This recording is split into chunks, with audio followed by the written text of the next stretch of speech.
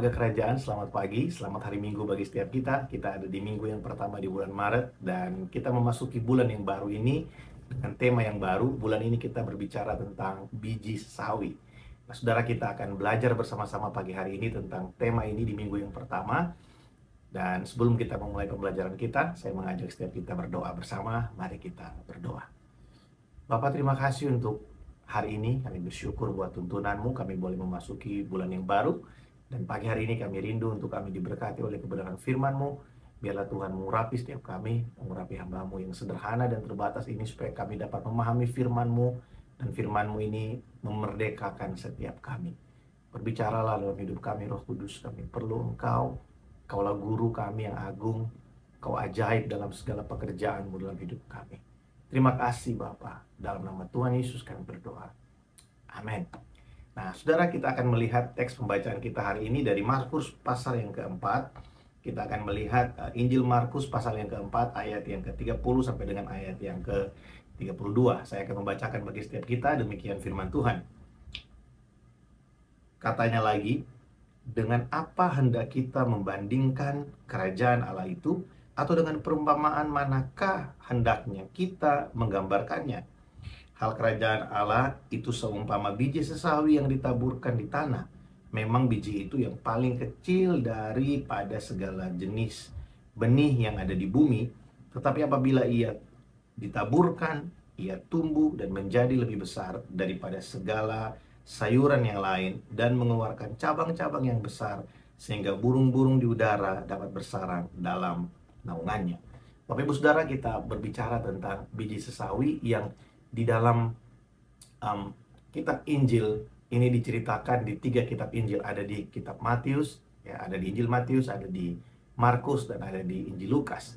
Nah dari ketiga dari ketiga uh, cerita ya cerita yang sama ini digambarkan bahwa biji sisawi itu adalah biji yang paling kecil benih yang paling kecil dari benih-benih sayuran atau pepohonan yang lain. Namun ketika benih itu bertumbuh menjadi besar dan itu menjadi lebih besar dari yang lain dan bahkan dia akan menjadi tempat bernaung untuk burung-burung yang ada di udara. Bapak Ibu Saudara, ada pesan yang penting untuk kita pahami mengenai biji sesawi ini yang ingin saya bagikan bagi setiap kita. Nah, sebelum kita lebih lanjut, mungkin saudara bingung kenapa rekaman uh, khotbah ibadah rayanya dibuat dalam rekaman seperti ini, bukan dari cuplikan atau potongan rekaman ibadah raya saat kita ibadah onsite di gereja. Hari ini kita dilayani oleh uh, Reverend uh, Joshua Wong. Beliau adalah founder dari Foursquare Malaysia.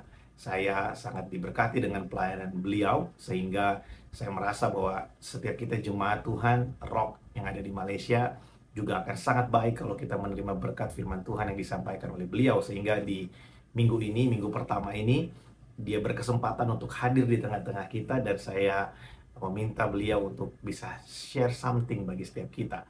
Oleh sebab itu, karena beliau khotbah tidak sama dengan apa yang ada dari tema bulanan kita, sehingga saya merasa saya perlu untuk memberikan ini buat saudara sebagai jemaat Tuhan supaya kita dapat memahami apa yang sedang kita pelajari, apa yang sedang kita kita mau untuk terjadi dalam hidup kita ya di dalam pembelajaran kita di gereja Rock ini di Rock International Ministry. Saudara biji sesawi itu memang kecil ya, bahkan mungkin yang paling kecil dari segala benih pohon-pohonan dan sayuran yang lain. Tapi dari sesuatu yang kecil ini apabila dia ditaburkan dan kemudian dia bertumbuh, dia akan menjadi sesuatu yang besar. Saudara, hal kerajaan Allah itu buat orang dunia ini bukanlah sesuatu yang besar, saudara Kerajaan Allah itu berbicara tentang Injil yang menyelamatkan kehidupan kita. Ada banyak orang yang menganggap remeh atau menganggap rendah Injil yang menyelamatkan. Seringkali orang berkata bagaimana mungkin hanya dengan percaya kepada pengorbanan Kristus maka seseorang dapat diselamatkan. Itu sesuatu yang tidak make sense buat orang dunia. Mereka beranggapan bahwa untuk mendapatkan keselamatan haruslah merupakan usaha kita. Tapi tidak begitu yang diajarkan Injil buat kita. Kerajaan Allah berbicara tentang pemerintahan Allah yang sempurna atas hidup kita, atas seluruh alam semesta. Sejak alam semesta ini diciptakan, Allah menjadikan langit dan bumi beserta segala isinya, menjadikan alam semesta dan menciptakan manusia dengan tujuan-tujuannya. Saudara, pemerintahan Allah yang yang yang sangat sangat besar dalam hidup kita, yang berdaulat penuh dalam kehidupan kita, itu sering kali dianggap remeh oleh dunia ini. Bukan sering kali, memang selalu dianggap remeh oleh dunia ini. Tapi kalau kita sebagai orang percaya menerima firman itu yang mungkin dianggap remeh, dianggap kecil oleh dunia ini, dan kita percaya kepada firman itu, kepada Injil itu. Kita percaya dengan sungguh seperti benih. Nah, kalau kita melihat di dalam pasal yang keempat kita Markus ini, Injil Markus ini diawali dengan perumpamaan tentang seorang penabur. Nah, kita tahu bahwa ada beberapa jenis tanah yang ditaburi oleh benih. Nah, Saudara, kalau benih itu jatuh di tanah yang baik, di tanah hati yang baik, maka benih itu akan bertumbuh menjadi besar Bahkan benih itu bisa menolong yang lain supaya yang lain dapat bernaung di dalamnya. Saudara, firman Tuhan yang kita terima itu mungkin kecil. Kecil dalam pengertian dianggap remeh, mungkin dianggap tidak mungkin dapat menghasilkan sesuatu yang baik dalam kehidupan manusia. Oleh sebab itu, saudara, dalam perjanjian lama, ketika Joshua ya diberikan pesan oleh Tuhan bahwa janganlah engkau lupa memperkatakan kitab Taurat ini siang dan malam. Firman Tuhan itu adalah benih dalam hidup kita.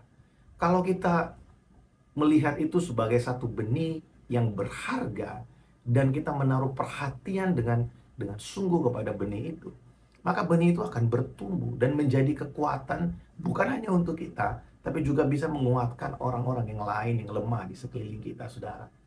Ada dua hal yang perlu kita perhatikan di sini, yaitu adalah kualitas tanah tempat di mana benih itu ditaburkan. Saudara sering kali benih firman Tuhan itu tidak dapat tumbuh dalam hati kita. Ya, kita sudah tahu ada dari empat jenis tanah itu ada tiga tanah yang yang tidak memenuhi klasifikasi untuk bisa menjadi tempat yang baik supaya benih itu bertumbuh. Yang pertama adalah tanah di pinggir jalan kita tahu. Kemudian ada tanah yang di tanah yang berbatu-batu. Kemudian ada tanah yang yang ada di semak-semak duri, saudara. Saudara sering kali yang membuat benih firman Tuhan itu tidak bertumbuh dalam hati kita adalah karena kita melihat firman Tuhan itu terlalu gampang. Kita sering menggampangkan firman Tuhan. Kita berkata, nanti ajalah itu. Masa sih itu bisa terjadi? Ketika kita berpikir seperti itu, itu adalah awal dari kesulitan kita untuk bisa mengalami apa yang firman Tuhan katakan apa yang Tuhan mau lakukan dalam kehidupan kita. Saudara, firman Tuhan itu sering kali nggak masuk akal, tapi jangan sampai tidak masuk di dalam hati kita. Firman Tuhan harus masuk ke dalam hati kita dan bertumbuh di dalam hati kita. Nah, kita perlu untuk memperhatikan kualitas hati kita. Yang saya renungkan beberapa waktu ini adalah sering kali firman Tuhan itu tidak bisa kita terima dengan baik karena kita terlalu banyak punya keinginan untuk memuaskan keinginan-keinginan kita. Kita terlalu banyak punya keinginan yang harus dipuaskan terlebih dahulu. Sehingga ketika firman Tuhan datang, kita merasa bahwa firman Tuhan itu bukan prioritas untuk bisa bertumbuh dalam hati kita. Atau dalam bahasa lebih sederhana, firman Tuhan tidak menjadi sukacita sepenuhnya bagi kita.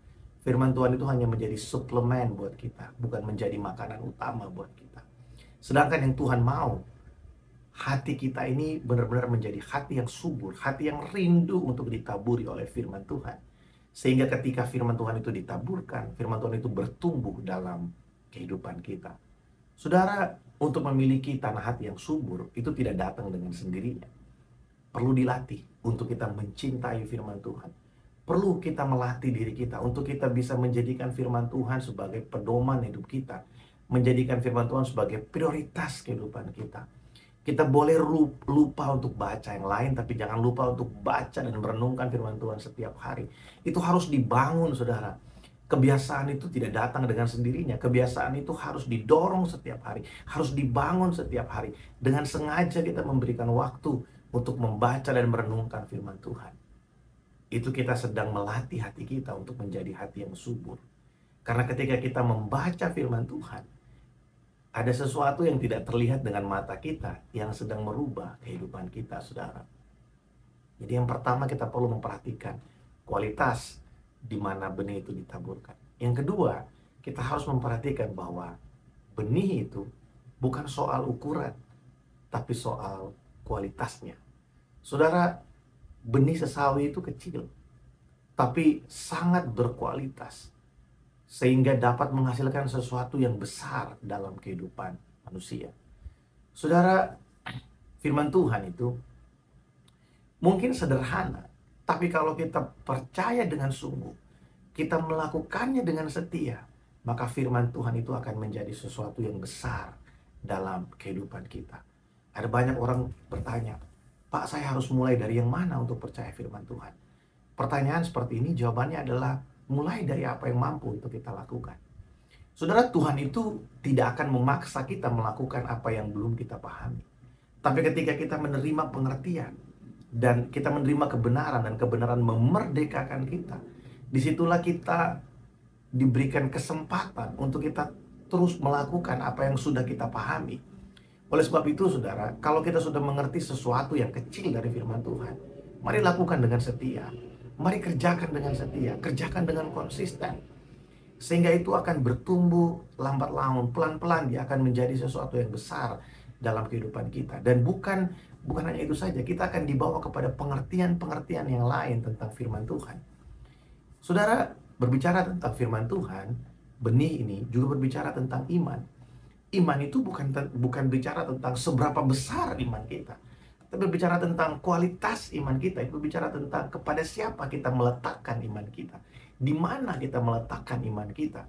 Kalau kita meletakkan iman kita di tempat yang benar kita meletakkan iman kita di posisi yang benar dasar iman kita adalah dasar yang benar maka itu akan menjadi sesuatu yang berdampak luas besar dalam kehidupan kita. Saya pernah mengutip satu pernyataan satu kalimat dari Bapak Pendeta Yakub Triandoko bahwa tidak peduli seberapa besar kita percaya, tidak peduli seberapa besar kita kita beriman, tapi kalau kita beriman atau percaya kepada sesuatu yang salah, maka itu tidak akan membawa dampak yang baik dalam kehidupan kita. Biji sawi juga seperti itu.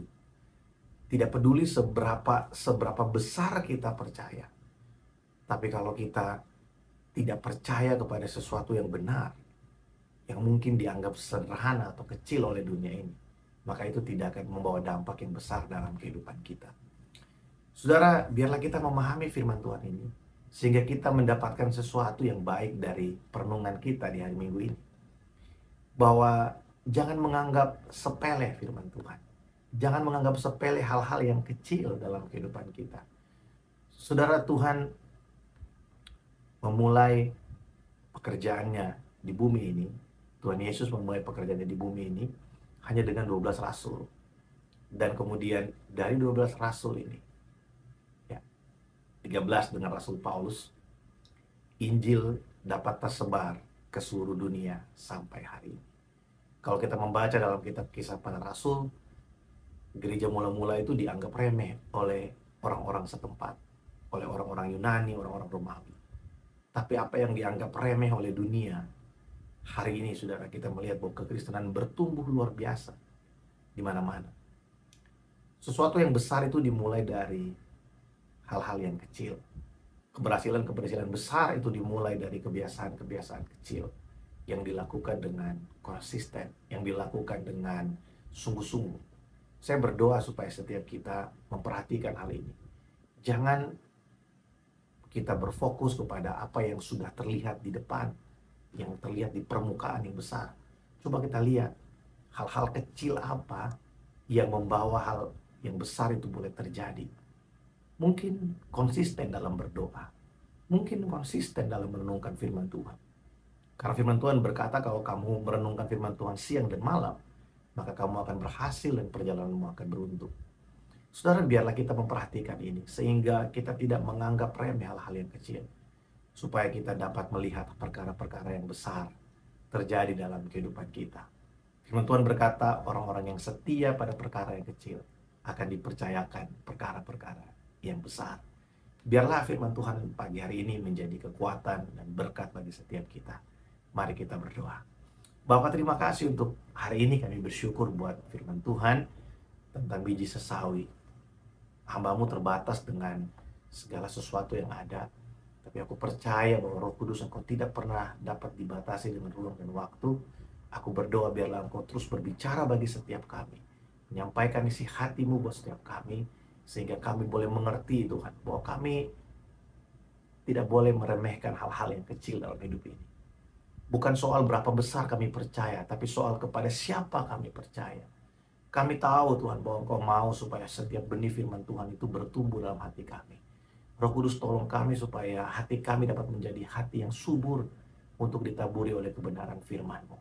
Terima kasih Bapak kami bersyukur, kami bersyukur untuk semua ini. Berkati umatmu di mana pun berada di hari Minggu ini, supaya setiap kami boleh menikmati sukacita dan berkat melimpah dari Engkau. Dalam nama Tuhan Yesus kami berdoa. Amin. Selamat hari Minggu. Tuhan Yesus memberkati setiap kita. Shalom.